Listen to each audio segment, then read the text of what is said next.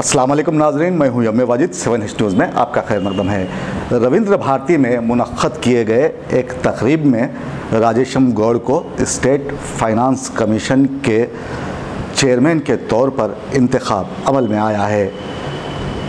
पेश है। इस मामले पर हमारे नुमाइंदे ज़ियाउद्दीन की ये रिपोर्ट। रविंद्र भारती में मुनद की गई इस तकरीब में चेयरमैन के करीबी समझे जाने वाले मोहम्मद गयासुद्दीन के अलावा AMC vice president Bhuvaneshwari Devi, Azeezuddin के अलावा टीआरएस कायदीन में मिनिस्टर तलसानी श्रीनिवास यादव, रुकन कानून साज council Swamy Goud, chief whip के ईश्वर राव, जस्टिस बाला योगी के अलावा दीगर मौजूद थे।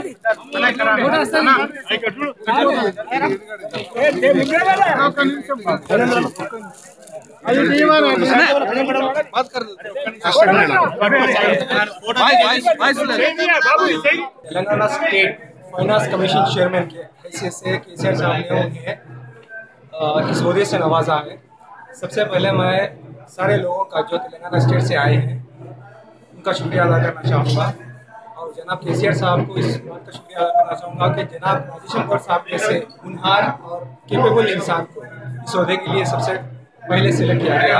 तेलंगाना स्टेट जब से अलहदा हुआ है, जनाब राजेश गौर साहब को इस वजह से नवाजे हैं। के साहब, चाहे के साहब या हरीश राव साहब, जितने भी डिग्रेटरीज हैं हमारे तेलंगाना स्टेट के, वो चाहते हैं कि जितने भी लोग हैं वो इस उसके काबिल।